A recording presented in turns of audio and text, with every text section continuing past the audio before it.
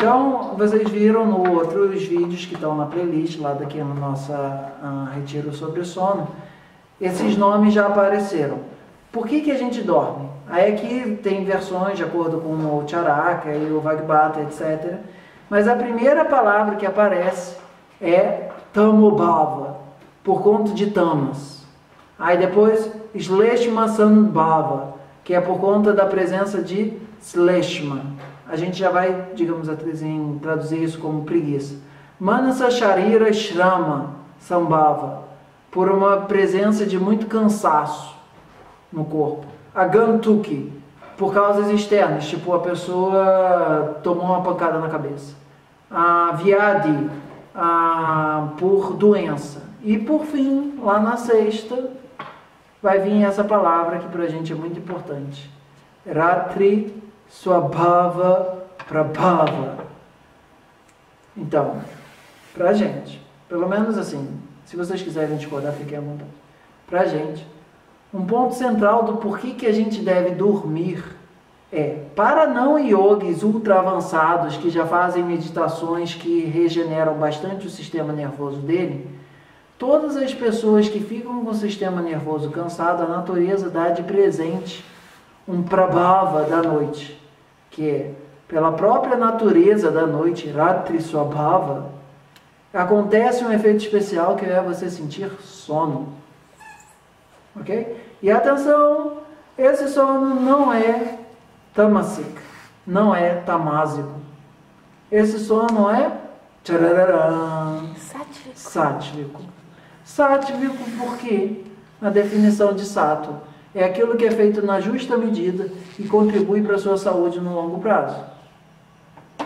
Então, eu gostaria de convidar vocês a tomar um pouco de cuidado com essa ideia de que sono, na perspectiva do Ayurveda, eu não estou falando do praticante de yoga que já faz não sei quantas horas de meditação e etc, ok? Falando do ponto de vista de pessoa comum.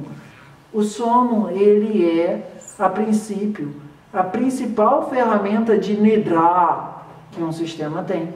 Nidra sendo entendido como aquilo que é capaz de regenerar a nossa mente de esforço mental.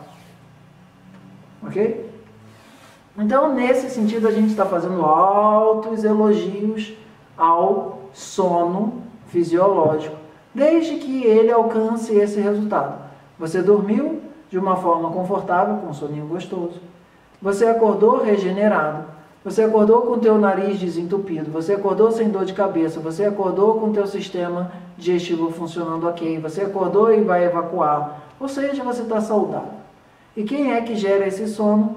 Radri Swabhava Prabhava, o sono que vem pela própria natureza da noite, e daí a nossa importância tão grande de, na medida do possível, ir mudando a sua rotina para cada vez mais e conseguir dormir uma hora, uma hora e meia, duas horas depois do pôr do sol, para acordar uma hora, uma hora e meia, duas horas antes do nascer do sol.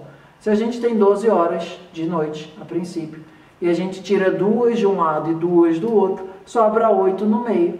E essas oito no meio têm uma capacidade muito grande de fazer com que a gente tenha o melhor do Kapha, o melhor do Pita e o melhor do Vata. Porque você dormir logo depois que o sol se pôs, nem todo mundo, digamos, vai estar com esse sono ou com a vida toda resolvida. Da mesma forma como para um cidadão comum, o yoga recomenda você acordar algo em torno de 96 minutos antes do sol nascer. Para um cidadão comum, você dormir 96 minutos depois do sol se pôr é aceitável. Ah, se dá aula à noite, aí já é uma outra questão. A gente está falando do final de semana, assim, do tipo, o que, que é o ideal do ponto de vista social. Se a pessoa é um vigia e etc., aí são várias outras questões. Mas, outros tipos de sono são Viadi Nuvartani.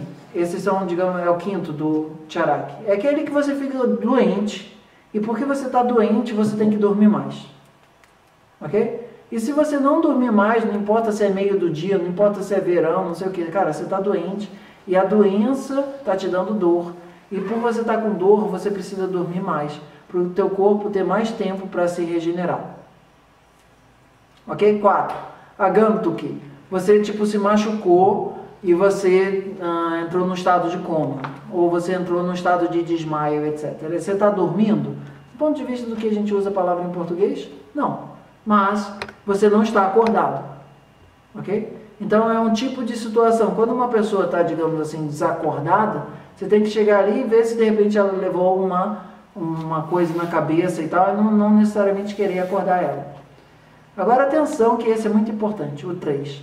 Mana, que é mente, Sharira, Shrama, Sambhava. Pela natureza de um excesso de atividade física e mental, você ficou com sono. Então suponha que, sei lá, são três da tarde e você dirigiu seis horas seguidas. Ok? Você chegou cansado. Aí você fala, ai, mas ainda não está de noite, não posso dormir. Não, no perspectiva do Ayurveda, se você fez um esforço excessivo mental ou físico, pode ser que você tenha um sono que não é o sono natural da noite, mas ainda assim vai ser benéfico para a tua saúde naquela situação dormir. Tipo, por exemplo, jet lag da viagem da Índia. Ok? Você chegou lá e é sei lá, quatro da, é, três da tarde, meio-dia. Mas tem todo um fuso no Ayurveda ancestral, não tem jet lag. Mas a gente poderia colocar o jet lag, tipo, você ficou moído de ficar no avião, etc e tal. Você está exausto, mas não está de noite. Se você está exausto no seu corpo e mente, você deve dormir, desde que aquilo dali não seja a ideia de dormir 10 horas direto. Você dorme duas, três horas que seja, aí acorda, vai fazer as coisas, faz um pouco de pranayama, faz um pouco de atividade Estresse física, faz um pouco de estresse emocional, porque é tudo que deixa você fatigado do ponto de vista mental e físico. Aprender a usar esse sono, ah, mas ainda não é de noite, então eu não posso dormir. Ah, o Ayurveda diz que dormir durante o dia faz mal. Calma, calma, calma. Essas regras, elas têm que, assim, ter o recheio do princípio delas, senão elas ficam muito apressadas e muito superficiais. Então agora, Shleshma Sambhava. Quando você come muita coisa gordurosa e teu Agni fica fraco, você fica preguiçoso, Homer Simpson, esse é o sono Homer Simpson. ok? Que é um sono onde você tipo comeu demais, e o teu corpo, ele comeu coisas gordurosas, feijoadas demais, e aí você ficou com sono. Você deve atender esse sono? No geral, você deve dar uma caminhada, assim, de 5, 10, 15 minutos, voltar andando, que seja, meia hora se for o caso, uma hora se for o caso. E se você ainda está pesado, você recosta sobre o seu lado esquerdo, no sofá, não deita, num... e você dorme ali, tipo 10 minutos, uma hora que seja, mas dorme sentado. Por exemplo, já é, isso é um exemplo da anterior, mas deixa eu voltar aqui, senão vai ficar bateado. Então, esse Shleshma Sambhava, ele é um sono patológico, no sentido de que você comeu exageradamente e comidas muito pesadas e que provavelmente vão deixar você com preguiça ao acordar. Ok? Isso tem que ser muito cuidado na questão da hora do sono, do como que você vai jantar e tal. E por fim, o que vem primeiro, que é o Tamobhava. Que sono é esse? Esse é o sono depressivo. Fecha a janela, apaga a luz que eu quero morrer. Ok? Esse sono que você quer apagar a existência e desligar o sol, esse é o sono tamásico. Tamasik, que seja. E esse sono é um sono onde a pessoa está morrendo, no sentido de que a, a fisiologia dela está indo de mal a pior. Ela vai ter, digamos assim, vários problemas, que hoje em dia a gente chama isso de depressão.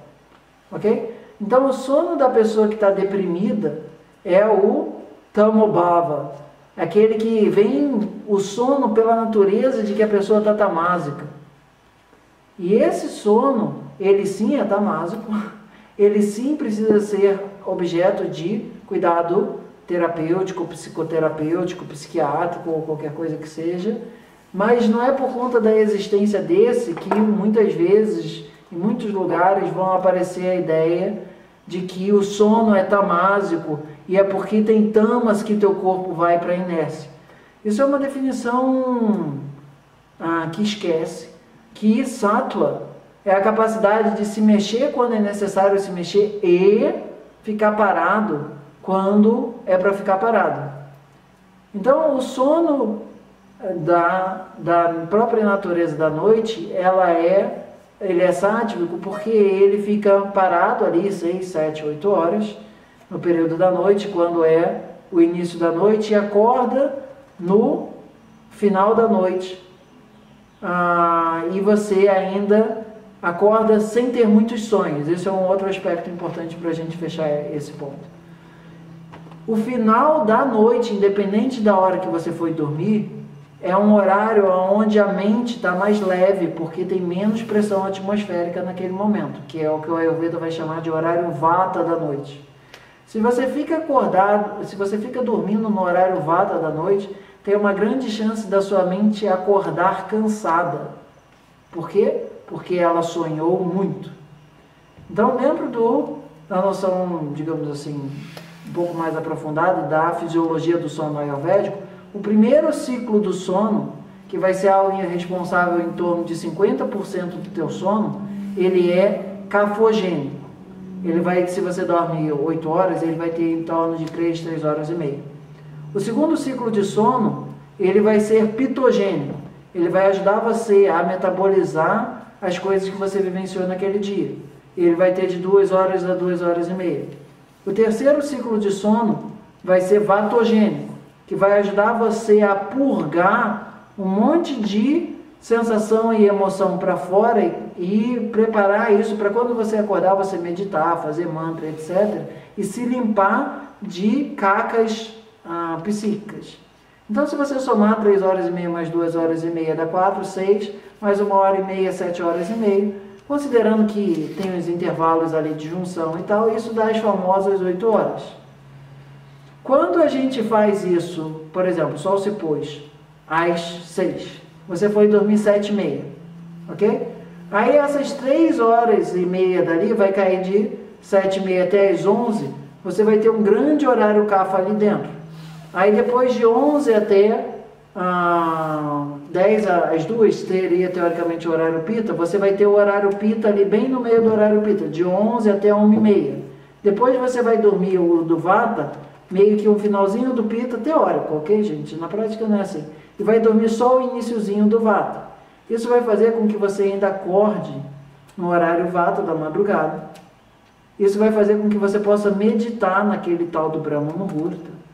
Isso vai fazer com que você tenha a capacidade de limpar a sua mente, que o teu corpo prepara, que a tua mente de noite preparou para ser jogada para fora, você meditando, fazendo mantra, fazendo kriya, fazendo pranayama, fazendo o que for, você vai ter capacidade de antes do dia começar purificar a sua mente.